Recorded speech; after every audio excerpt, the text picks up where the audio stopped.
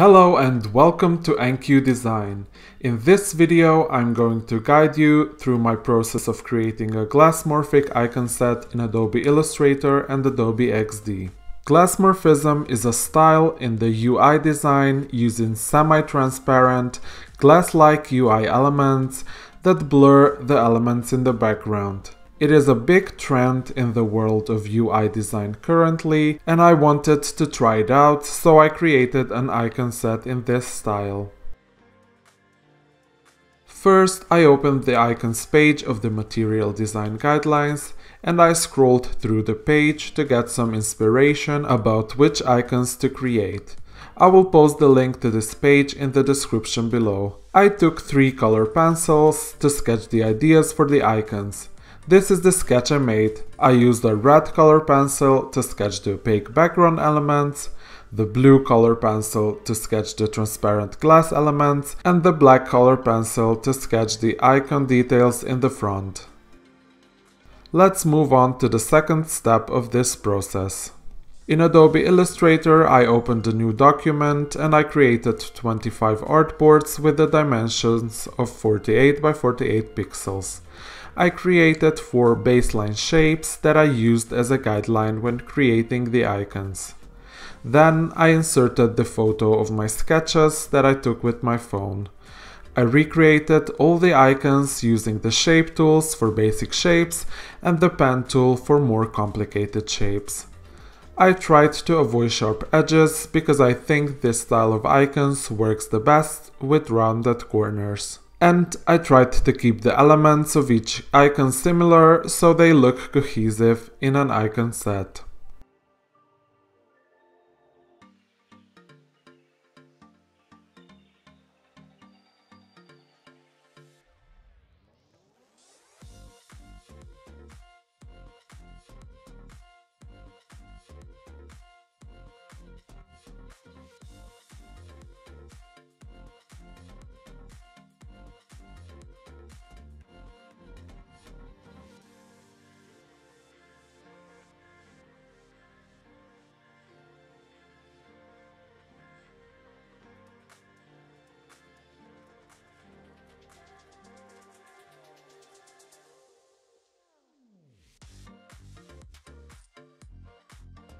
When I finished designing all of the icons in Adobe Illustrator, I opened Adobe XD and I copy pasted all of the icons from Adobe Illustrator directly into Adobe XD. I decided to use four different colors for the icons to make the icon set colorful and playful. At first I was not sure yet how to style the icons, so I did some experiments to find out which color combinations and which effects work together the best. When I found the combination I liked the most, I created a guideline of all the elements I created, and I created a version of the guideline for each of the colors. Then I started coloring the icons.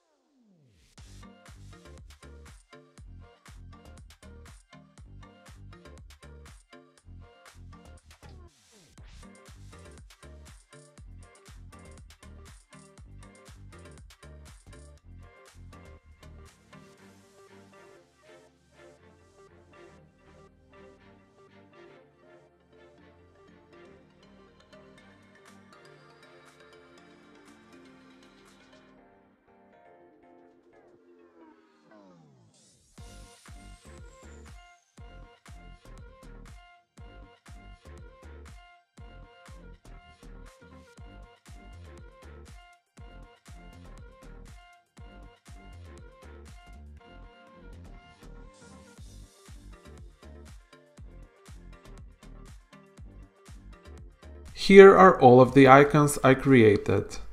The whole process from start to finish took me about 10 hours and I was very happy with the end product.